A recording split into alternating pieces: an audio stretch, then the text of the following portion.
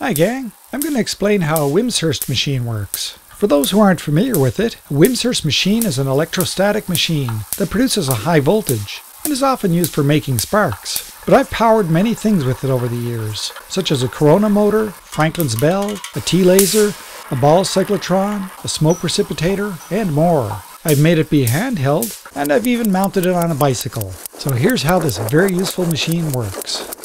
First, a little background information. Like everything else, the Wimshurst machine is made of atoms. Atoms are made of negatively charged electrons and positively charged protons. The electrons can move around, but the protons are stuck in the atom's nucleus. If you have an area with more negative charge than positive, then we say it's negatively charged. Likewise, if you have more positive charge than negative, then we say the area is positively charged. And if there's the same amount of both, then we say it's neutral. Lastly, like charges repel each other. So two negatively charged electrons will move apart. And two positively charged atoms would also move apart, if they were free to move. And unlike charges attract each other. So this negative electron is attracted to this positively charged atom. Now on with how the Wimshurst machine works. For the Wimshurst machine to start, there needs to be an unbalanced charge somewhere on either of the disks. The machine has two discs made of an insulating material, like plastic. The discs are rotated by turning a crank. That crank turns two large pulleys. From one pulley, a belt goes up to a smaller pulley that's attached to a disc and turns the disc. From the other pulley, another belt also goes up to another smaller pulley that's attached to the other disc, but that belt is twisted. That twist makes that disc turn in the opposite direction. Each disc has metal strips on them called sectors. As we said, for the Wimshurst machines to start working, there has to be an excess positive charge or an excess negative charge on any one of the sectors. If the air isn't too humid, then there usually is this random unbalanced charge somewhere. So let's say we have an excess negative charge on this sector.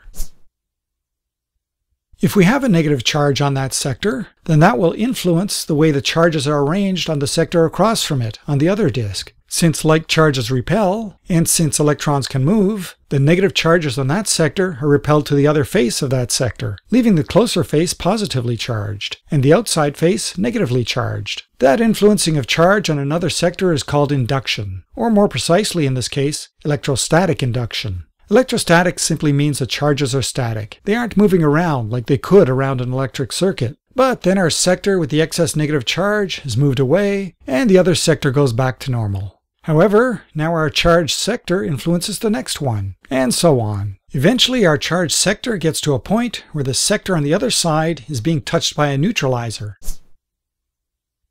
The neutralizer is this metal bar here. That bar has metal brushes on either end, one touching a sector here, and the other touching a sector at the other end of that disk. There's also another neutralizer bar facing the other disk. Notice that they're both mounted diagonally touching opposite ends of the discs. But more importantly, notice that since the metal brushes on either end of the metal bars are touching both sectors, that means those sectors are electrically connected to each other. Charge can flow between them, if it wants to. What's happened is that the neutralizer bar and the far sector have become metal extensions of this sector. And so the repulsion from our original negatively charged sector continues its influence over that whole extended sector. The repelled negative charges now have further to be repelled, and so they go all the way down to the far sector. Notice that because those negative charges went to that far sector, that sector is now negatively charged overall. And since those negative charges left this sector, it's now positively charged overall.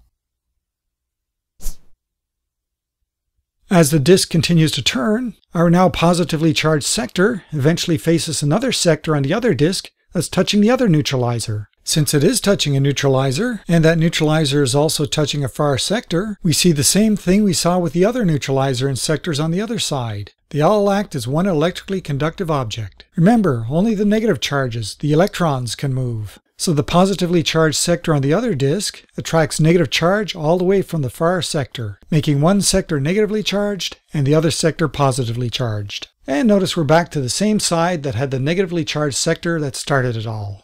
That means that unless something happens to change everything, we now have negatively charged sectors moving from the neutralizer brush here, positively charged sectors moving away from the neutralizer brush here, and on the other side of the disk, we have positively charged sectors moving away from this brush, and negatively charged sectors moving away from this brush. On the left and right sides of the Wimshurst machine, we have what are called collectors. Their job is to collect the charge. Notice that from what we just described, only positively charged sectors are moving towards this collector, and only negatively charged sectors are moving toward this collector. These collectors are U-shaped. They have sets of sharp metal points on them facing each disk, called combs. Using the negative side as our example, the negative charges on the sectors repel negative charges from the sharp points, leaving them positively charged. Those negative electrons will go to the rest of the circuit, but we'll talk about that later. There's an electric field between the charges on the sector and the charges on the sharp points, and we can visualize that field by drawing lines between the charges. Since the charges are crowded together at the sharp point, the lines are closer together, meaning that the electric field is stronger there. That strong electric field attracts electrons from the neutral atoms in the air. It also attracts electrons from the sectors, leaving the sector neutral overall again, as it rotates away from the collector. The next negatively charged sector that comes along will repel those electrons out to the rest of the circuit, and so on. Meanwhile, a similar thing is happening at the other collector, except that since the sectors there are positive, negative electrons are flowing from the sharp points to the sectors, neutralizing the sectors. And so we have negative electrons being collected at this collector, and negative electrons being removed from this collector. The next parts are these two things, called Leyden jars, which is just the old name for a particular shape of capacitor. A capacitor is an object that has one electrically conductive plate facing another electrically conductive plate, but with an insulating material in between them. You can accumulate opposite charges on each plate, and these charges will attract each other. But because the insulator is in the way, the charges won't cross over and neutralize. In this way, you can build up a voltage across the two plates. Leyden jars are the same thing, except that the plates are cylindrical in shape. You have an inner metal cylinder that you make contact with from the inside, and that goes to a collector. Then there's a jar-shaped insulator around that, and then an outer metal cylinder that you can make contact with from the outside. In a Wimshurst machine, we have two of these, though one bigger one would do just as well. Their outer plates are connected together with a wire, which is normally hidden underneath. If you were to draw a schematic for these two Leyden jars, then it would look like this. Two capacitors connected in series, and both going back to a collector. And so what we're doing is collecting negative charge on this side and putting it on the inner cylinder of one Leyden jar, making that cylinder negatively charged. Meanwhile, we're collecting negative charge from the inner cylinder of the other Leyden jar, leaving that one positively charged. Since the outer cylinders are so close to the inner cylinders, negative charge is repelled from the one with the negative inner cylinder and attracted to the one with the positive inner cylinder. The Leyden jars become charged. But there's still one more capacitor here, albeit a very poor one. That's the spark gap. As we said, the collectors are connected to the inner cylinders of the Leyden jars, but they're also connected to the ends of the spark gap. That gap is where the spark occurs.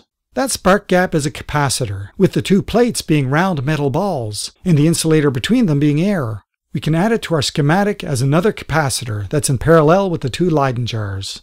And just as with the inner cylinders of the Leyden jars, negative charge goes from one collector to one ball, making that ball negative. And negative charge is removed from the other ball and goes to the other collector, making that ball positive. As with any capacitor, there's an electric field between the two sides. But unlike with the collector, there are no sharp points here, and so the charges have more room to spread out. That means the electric field doesn't get as strong as quickly, and more charge can accumulate without crossing sides and eventually the electric field in the spark gap gets strong enough to break down the air, and we get a rush of a lot of charge across it. That charge comes from both the spark gap capacitor and the Leyden jar capacitors. That's the spark. The spark gap has become a short circuit for the capacitors. Immediately after that, the two sides of the Leyden jar and spark gap circuit are neutral again, and we start over, collecting charge from the Wimshurst machine's disks. There's just one more thing to mention. We started this whole thing by saying there has to be a charge on a sector somewhere for all this to start. But what if there isn't? In that case, you can induce a charge. The easiest way to do it is with the triboelectric effect. Basically, I rub a cotton cloth against a plastic rod. That charges the rod negatively. When I bring the rod near to, but not touching, a sector, where the sector on the other side is touching a neutralizer brush, that will cause the necessary induction to charge that sector through the neutralizer bar, just like we talked about. That gets it all going. And recall that I've used this Wimshurst machine for many demonstrations. There are links to the videos of all those demos in the video description.